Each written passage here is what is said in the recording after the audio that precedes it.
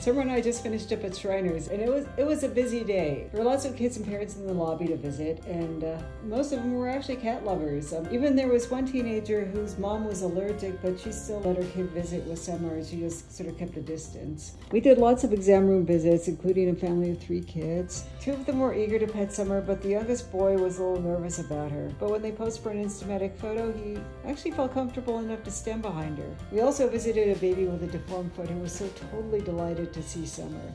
She just was really excited. And she was even able to pet Summer gently um, with her mom's help. Uh, um, but yeah, I mean, she was overall actually a pretty gentle baby. She, it was really cool. So that was our visit. Bye bye.